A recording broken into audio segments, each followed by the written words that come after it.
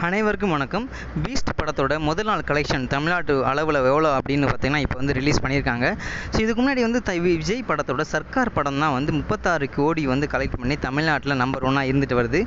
அதுக்கப்புறம் வந்து பார்த்திங்கன்னா வலிமை இருபத்தெட்டு கோடியும் பிகில் இருபத்தாறு கோடியும் மாஸ்டர் இருபத்தஞ்சு கோடியும் வந்து பார்த்திங்கன்னா கலெக்ட் பண்ணியிருக்கு. டே ஒன் கலெக்ஷனாக இருந்து வருது. ஏன் மாஸ்டர் டுவெண்ட்டி ஃபைவ் அப்படின்னா ஜஸ்ட்டு கொரோனா டைமில் ரிலீஸ் ஆனதுனால ஜஸ்ட் வெறும் ஒரு டுவெண்ட்டி ஃபைவ் அது ஃபிஃப்டி பர்சன்டேஜ் ஆக்குபென்சி தான் கொடுத்துருந்தாங்க. ஸோ அதனால தான் கம்மி. பட் பட் பட் ஆனால் பீஸ்ட் படத்துக்கு வந்து ஒரு அதிக அளவான தேட்டர் ஒதுக்கி இருந்தாங்க அது மட்டும் இல்லாமல் அது மட்டும் இல்லாமல் ஹண்ட்ரட் பர்சன்ட் ஆக்குபென்சியோடு வந்ததுனால நம்பர் ஒன் டே ஒன் கலெக்ஷனாக இருபத்தி எட்டு கோடி ரூபாய் வந்து பார்த்திங்கன்னா கலெக்ட் ஆயிருக்கு. ஸோ இது வந்து நம்பர் ஒன் அப்படின்னு தான் சொல்லப்படுது. இதுக்கு முன்னாடி உள்ள படங்களை விட. காரணம் எல்லாருக்கும் தெரியும் பீஸ்ட் படம் ஏற்படுத்தின தாக்கம் விஜய் அவர்கள் வந்து நேரடியாக இன்டர்வியூ கொடுத்துருந்தாரு.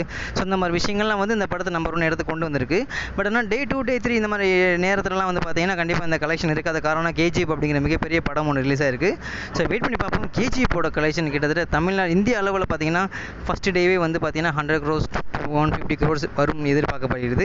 ஸோ அதோட டீட்டெயில்ஸ் வரவும் நான் ஷேர் பண்ணுறேன் இப்போதைக்கு பீஸ்ட் படம் தேர்ட்டி எயிட் க்ரோர்ஸோட தமிழ்நாட்டில் நம்பர் ஒன் இடத்த பிடிச்சிருக்கு. நன்றி வணக்கம்.